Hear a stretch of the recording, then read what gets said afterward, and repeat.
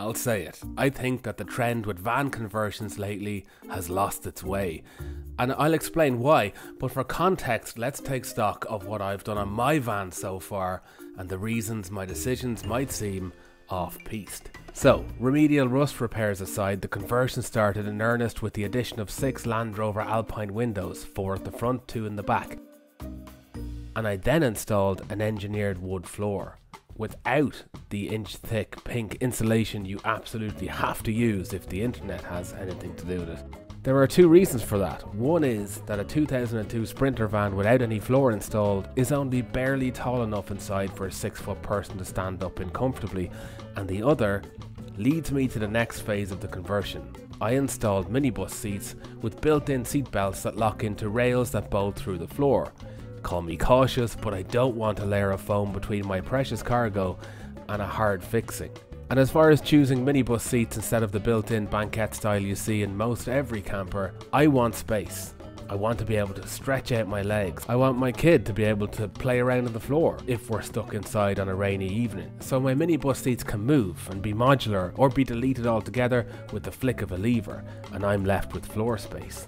Sure, there'll be bench seating too, actually a lounge if I can pull it off, but you'll see no domestic scale kitchen cabinets or countertops here.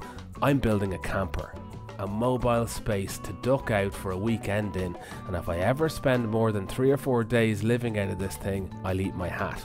And when I do duck out, realistically, it won't be to the Sahara or the South Pole. I'll be going places where the water and the pub or eatery are equidistant walks. There will be a wet room in this build, that's for sure, but no toilet. So now we're caught up, and you might still be wondering, well, why did you delete the factory bulkhead only to reinstate a bulkhead? Here's yet another thing I think most large scale van conversions get wrong. My van is big. I mean, obscenely big, if I'm honest. It's too big for really easy use as a camper, but then I'm a guy who spent three months living out of an old T2 Westfalia bus. I've got plenty of space, so I'll happily trade the potential for two extra seats against solving the problems created by opening the cab into the living space. See, the front cab of any van is glass. I mean, it's predominantly glass. That's a massive heat sink, not to mention a condensation trap. Sealing that off from the living space manages both heat and air quality in that living space and also ensures that your cab heater, that comparatively weedy thing built into the dashboard, will be capable of actually heating the cab in freezing conditions while on the move. Sound is another consideration. Time and again, people choose to fork out strong money on heavy bituminous or rubber vibration damping sheets that get bonded to the load area panels before insulation and paneling go in. Well, weight is a real concern on a conversion like this, especially if you want your fridge freezer below your house size kitchen counter complete with tiled backsplash. You can't throw all mod cons at a van complete with associated electrics, insulation, heavy soundproofing, and entertainment, and then throw a set of all terrain tyres on it and expect it to be efficient on road and capable off road. A well designed bulkhead keeps expense, weight, and noise levels down while making the spaces either side of it more easily heated or cooled, as the case may be. So, you could say, in a nutshell, I'm attacking this van with the Lotus ethos. Simplify and then add lightness. And by the way, if it's Lotus you're after here at Soup Classic Motoring, there aren't that many more sleeps left. Expect a return to the Esprit project in roughly three episodes' time and no more distractions. If you have another birthday before I finish and drive that car, it's because your birthday's wrong.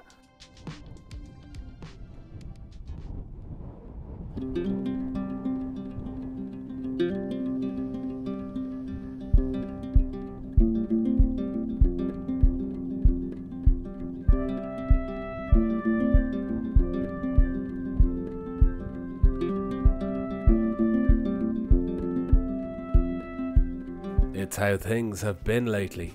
Big winds, big tides, and low temperatures. I gave you a minute to think there, and I'm not surprised if you were looking at my bulkhead and thinking, lightweight, yeah, but well designed? It's a little flimsy, that's for sure, but it's also compromised for all my big talk. So, in this episode, I'm going to reinforce it, make it more versatile, and try and build a door in it that not only allows the bulk bed, TM, to function, but that has some beauty to it too.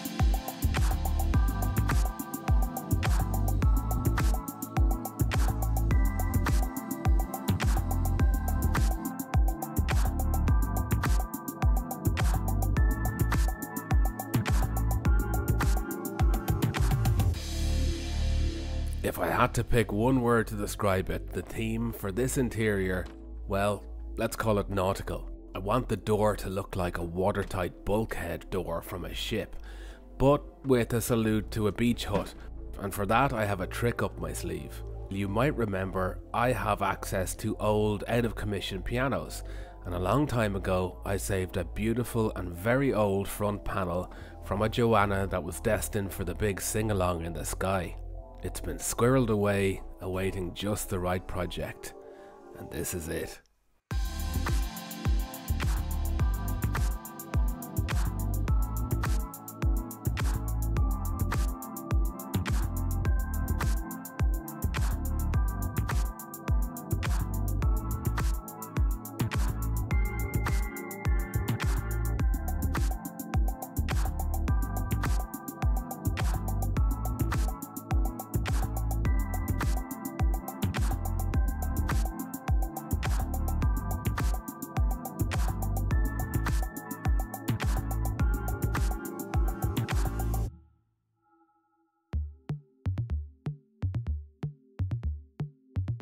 This is a Parliament hinge.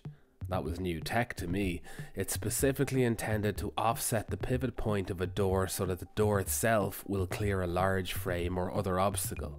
And it's what's going to allow the door to open and swing flat against the bulkhead even when the top half is folded down.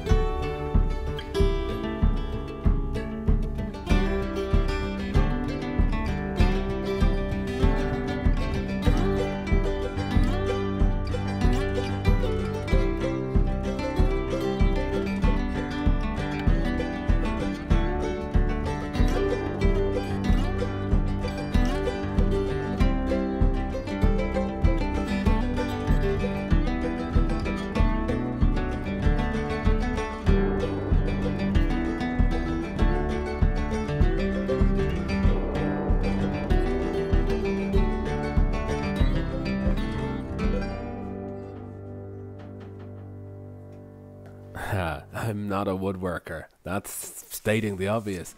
I find it very unforgiving. It's a win then that all of the little scratches, chips, uneven lines, and rough edges you see here only lend themselves to the vibe I want this interior to have. I'll probably splash a lick of white paint here and there when all the structure is done, just to help some of the reclaimed wood pop. And for now, I'm really happy that this little piece of bygone artistry has a new place to live and be seen.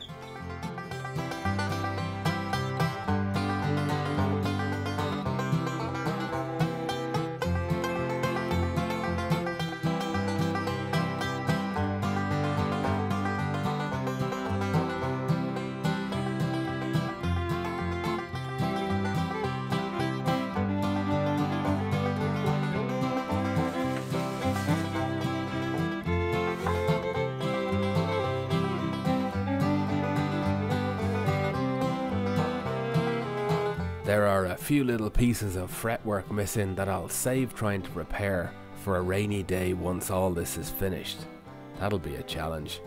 And I originally wanted to cut corresponding holes in the backboard of the door to let the light through, but I just don't think doing that is in the best interests of the old panel. I'd be afraid it would get a knock and have no support. So I'm thinking, a piece of turquoise satin between the fretwork of the panel and the backboard would be a nice way to accentuate it, but that again is for another day. Hey, an interesting thing about the panel that my buddy Mark the piano man told me is that where you see the white paint rubbed into the carved pattern detail would have been mother of pearl or abalone. People would pry it out way back when because they thought it would be worth money. Pity. Just think of the time and effort that would have gone into inlaying strands of seashell into a piece like this. Anyway, that's me for another installment. I've made quite the mess. Okay, I'll admit it. I had cleaned up a bit and scattered the rubble back across the floor for effect, but there's plenty more mess to be made, so no harm, no foul. To my new patrons Bob Griffin, Tony Banbury, Trevor Hare, Neil Duguid, Christopher DeBar, Bilson Campana, Jack Gerritsen, and Robert Dowling, thank you. You're more important than ever, and probably more neglected than ever, too. I meant what I said, the Esprit project is looming, and this time I must finish before I'm too old to actually be able to get in and out of it. So until next time, embrace the weather, whatever you're getting, stay stuck in, and good luck.